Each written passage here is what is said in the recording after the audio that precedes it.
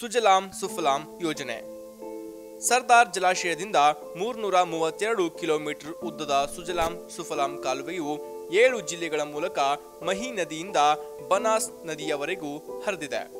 ಈ ಯೋಜನೆಯ ಮೂಲಕ ಕದನ ಮತ್ತು ನರ್ಮದಾ ಜಲಾಶಯಗಳ ಹೆಚ್ಚುವರಿ ನೀರನ್ನು ಗುಜರಾತಿನ ಇಪ್ಪತ್ತೊಂದು ನದಿಗಳ ಮೂಲಕ ಬರಪೀಡಿತ ಪ್ರದೇಶಗಳಿಗೆ ತಲುಪಿಸಲಾಗಿದೆ.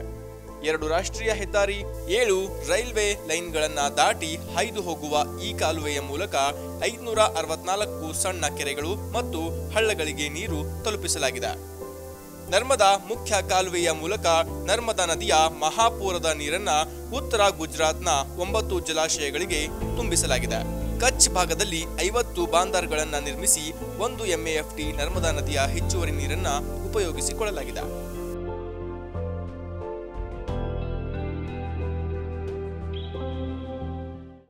ಬೇರೆ ರಾಜ್ಯಗಳು ಸಾವಿರಾರು ಕೋಟಿ ಅನುದಾನದಲ್ಲಿ ಇಂತಹ ಯೋಜನೆಗಳನ್ನು ರೂಪಿಸಿಕೊಂಡು ತಮ್ಮ ರಾಜ್ಯದ ನೀರಿನ ಸಮಸ್ಯೆಗಳನ್ನು ಬಗೆಹರಿಸಿಕೊಂಡಿವೆ.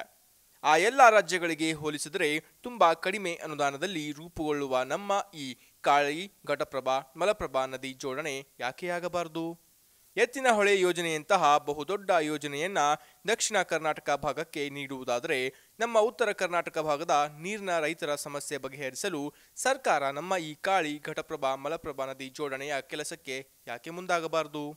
ನಾವಂತೂ ಈ ಕಾರ್ಯದಲ್ಲಿ ಅತ್ಯಂತ ಉತ್ಸಾಹದಿಂದ ಈಗಾಗಲೇ ತೊಡಗಿಕೊಂಡಿದ್ದೇವೆ. ಬರದ ನಾಡಿಗೆ ಭಗೀರಥರಾಗಬೇಕೆನ್ನುವವರು ನಮ್ಮೊಡನೆ ಕೈಜೋಡಿಸಿ. ವ್ಯರ್ಥವಾಗಿ ಸಮುದ್ರ ಸೇರುತ್ತಿರುವ ನೀರಿನಿಂದ ನಮ್ಮ ಭಾಗವನ್ನ ಹಚ್ಚ ಹಸುರಾಗಿಸೋಣ.